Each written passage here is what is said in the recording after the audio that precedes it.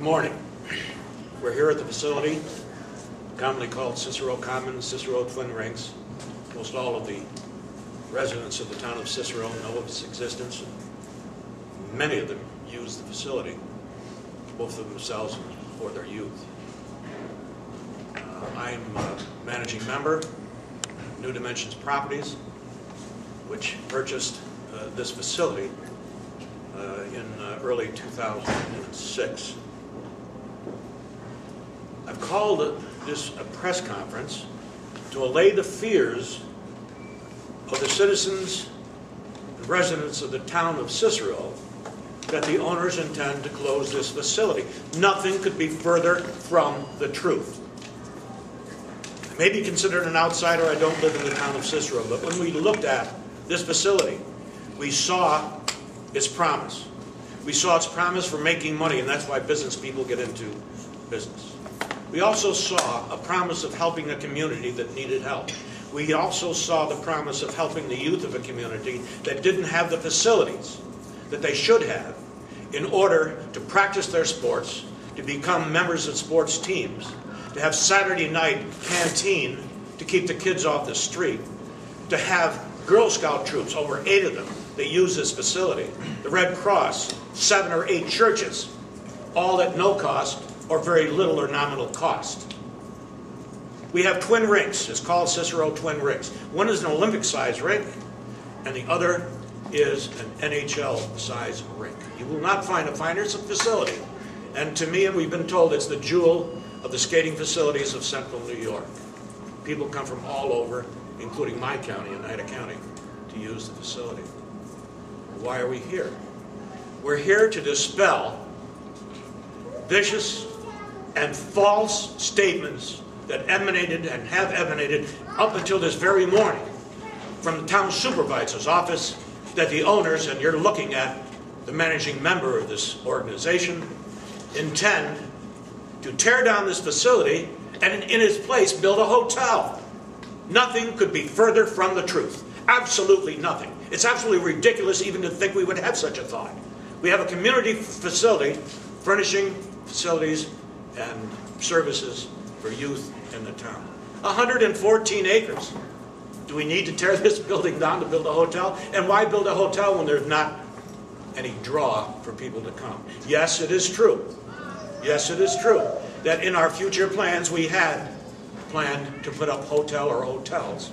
If we improve the facility and build a U.S. Swimming Association sanctioned pool, there isn't one in the whole area, the whole county, except Nottingham High School, which is a public facility.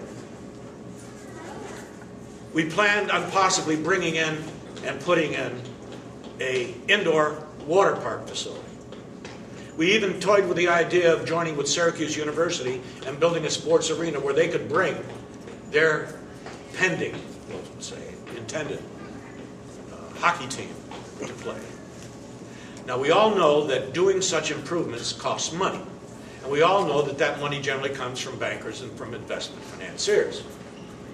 We all know they look at the possibility of failure or non-failure of the business.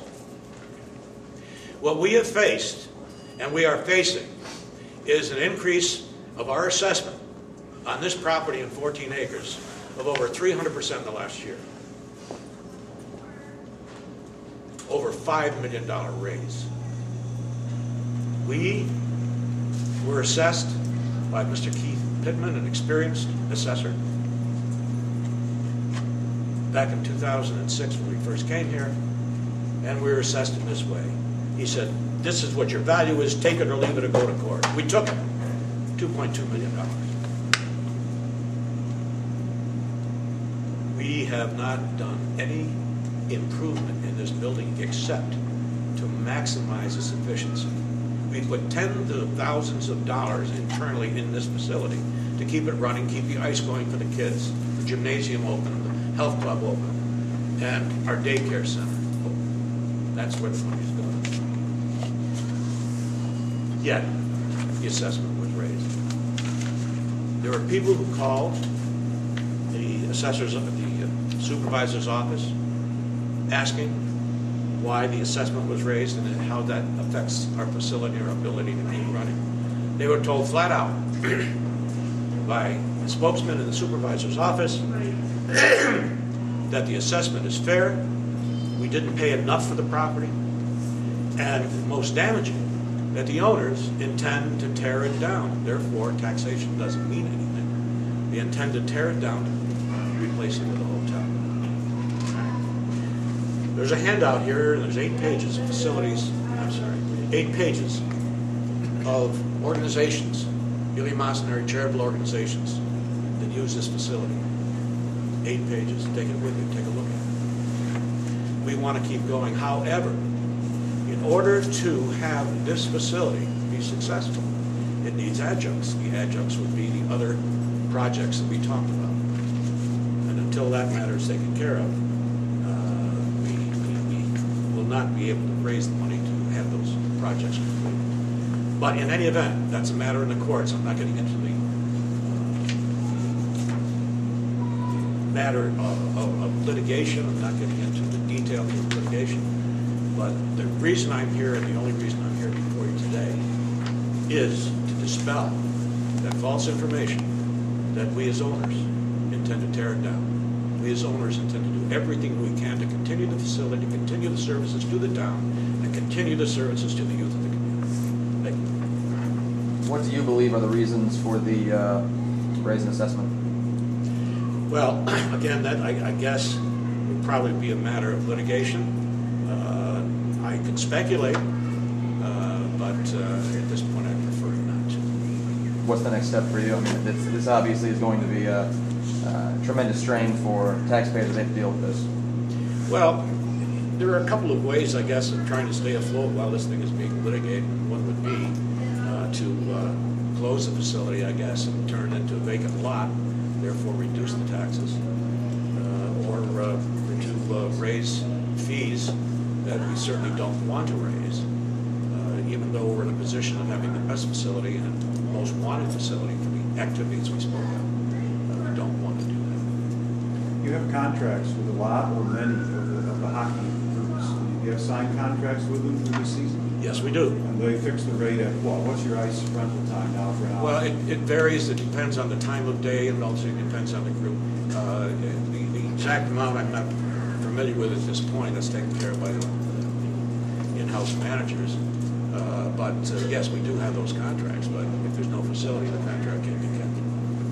And yet, it seems like arguments going on here, Mr. Ray. You're saying the town wrongfully and improperly is telling people as they call, well, they, you want to tear this down, so don't be. And on the other hand, you're saying, I can't afford this assessment. We've either got to raise the rates or tear it down. I mean. No, I didn't, I didn't say that. What I'm saying is, we do not intend to voluntarily close this facility. The matter is in litigation, and uh, we'll see what the litigation results in.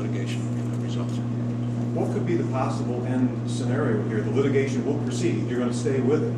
What if the courts rule that something close to seven point, whatever the new assessment is, seven point two nine oh, is accurate, and actually this property should be assessed at, or they, they raise it to something close to that?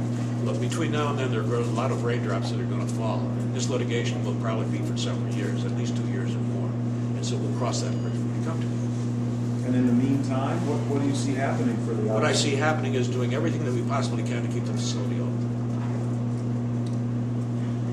For the parents, and some of them are represented here today, I guess, and all the kids that skate on these clubs, what does that mean for ice time? Do you think you'll be able to survive this litigation process and not raise the rates by three hundred percent? I mean, what do you, what do you think in the short term for people who use this ice? What's their? We are going to do, and this is a final statement, that we are going to do everything possible to keep the rates where they are, because we do not want to impose a burden on the parents that see this facility as a very helpful thing for them and their children. Well, can I ask one more question?